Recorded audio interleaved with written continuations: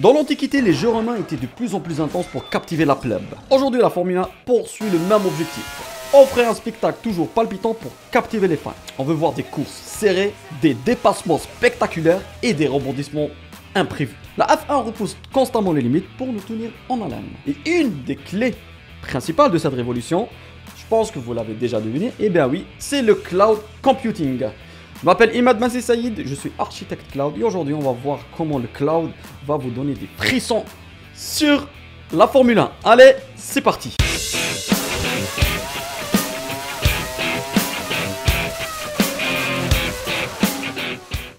Au début, les stratégies de la F1 tournaient autour du chrono et l'observation du pilote. On va dire c'était pratiquement la seule data qui était exploitée. Mais à partir de 2009, bah, les essais en privé devenait interdit. Et les essais physiques de la soufflerie pour étudier l'aérodynamisme devenaient très limités aussi. Bah, ils ont fait ça pour ne pas trop creuser l'écart entre les écuries qui ont un budget faramineux et avec les écuries qui ont un petit budget. Donc là, on essaye d'équilibrer quand même, parce que c'est les autres, les écuries comme Mercedes par exemple, ou Red Bull, ils ont les moyens, s'ils testent tout le temps dans leur coin, bah là ils vont largement dépasser les autres écuries. Donc là on essaye de créer un certain équilibre déjà. Donc suite à ces restrictions, le seul moyen de tester, ah ben, c'est la simulation. Et pour se rapprocher de plus en plus de la réalité, bah, il faut une récolte de data qui est énorme. Donc on voit que la data est devenue un élément essentiel pour la stratégie des courses. Et au-delà de la stratégie, la data elle est importante pour améliorer le design des voitures. Et ce qui est complètement fou dans les stratégies, en fait, une petite data, elle peut changer toute une course.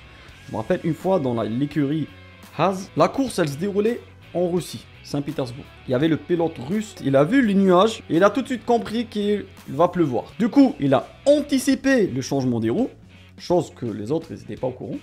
Ah bah, il a eu un très bon classement grâce à cette On voit bien que la data, c'est une pierre angulaire dans la stratégie des courses. Donc, pour résoudre tous ces problèmes, bien sûr, on a bourré les voitures de capteurs. Donc, une voiture F1, elle est équipée de plus de 300 capteurs. Et ces capteurs, ils peuvent envoyer jusqu'à 1,5 Tera de données par course. Et par voiture, bien sûr. Donc ces données incluent la vitesse, la température des pneus, la force G, la performance du moteur et d'autres data bien sûr. Et grâce au cloud, on va offrir une force de calcul pour pouvoir exploiter cette data au maximum. Et surtout l'exploiter en temps réel aussi. Je vous donne un exemple. Si on remarque que les pneus d'un pilote, par exemple d'une voiture, chauffent rapidement, bah là on va appeler le pilote à rentrer, à changer les roues. Déjà, on va offrir plus de sécurité au pilote. Et du coup, ça pousse l'écurie à ajuster sa stratégie de départ et demander au pilote d'ajuster sa conduite. Et cette réactivité peut vraiment faire la différence sur la piste. Selon les infos que j'ai, pour l'instant, ils n'envoient pas les capteurs de la voiture, ils n'envoient pas la data directement au cloud. Parce que je pense, voilà, peut-être avec la 5G, ça dépend le pays où ils sont, mais il faut que ça soit rapide. Donc c'est pour ça qu'ils ont tous des camions où la data elle est envoyée en temps réel dans le camion qui traite la data en temps réel pour ajuster les stratégies. Donc elle, pour l'instant, je pense pas qu'elle est envoyée directement au cloud. En tout cas, les infos, j'ai pas trouvé cette info. Par contre, ce qui se passe, c'est après, la data, elle est transmise du camion vers le cloud. Après, chaque écurie a son propre cloud. Euh, donc, euh, je sais que la Formule 1, ils ont un partenariat avec AWS. Mais ça, c'est pour exploiter d'autres data. On en parlera après. Mais sinon, du camion vers le cloud qui a, qui a un contrat avec l'écurie. Et c'est là où ils vont exploiter la data pour autre chose. Par exemple, pour simuler des courses.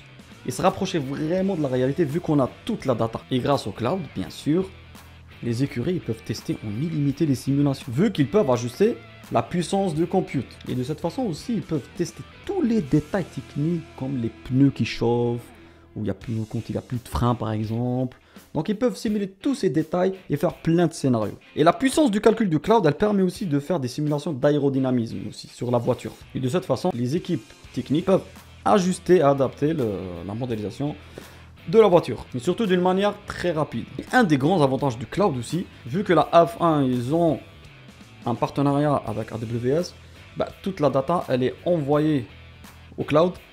Et ça, ça permet de donner une expérience immersive on a vu Apple Vision, ils ont une application dans la démo, ils montrent un circuit de F1 qui s'affiche. Ça, c'est réalisé grâce à la data collectée. Et de cette façon, la F1 va attirer plus de monde et plus de fans pour qu'ils puissent vivre des expériences un peu inédites. On est là avec le pilote, on voit ce qu'il voit, on voit la data, on peut même décider à sa place, voir, prendre des décisions et s'amuser. Donc euh, ça va devenir de plus en plus captivant. Donc là, les fans, ils vont vraiment s'éclater. Et surtout avec toute sa data, les stratégies, elles vont être vraiment folles. Bah, on commence à le voir déjà. Déjà, on commence à voir dans les dernières courses, les dernières années là, on commence à voir qu'il y a beaucoup de rebondissements. Donc on l'a vu dans les dernières années, entre Red Bull et Ferrari, il y a plein de rebondissements et tout. Et ça parce qu'à chaque fois, il y a une data qui change tout. Et du coup, là, on commence à voir plein de rebondissements. Et c'est ça qu'on veut en fait. Donc encore une fois, on voit que le cloud révolutionne beaucoup de secteurs. Bah là, c'est la F1. On voit bien qu'il va pousser les limites de la F1 pour nous offrir des spectacles époustouflants. Et bien sûr, offrir plus de sécurité parce qu'on sera plus précis sur la data et on peut savoir pratiquement tout ce qui se passe sur une voiture. Donc le cloud nous permet d'avoir des tests et des optimisations sans précédent et surtout des stratégies de course dynamiques et bien sûr une expérience immersive pour les fans.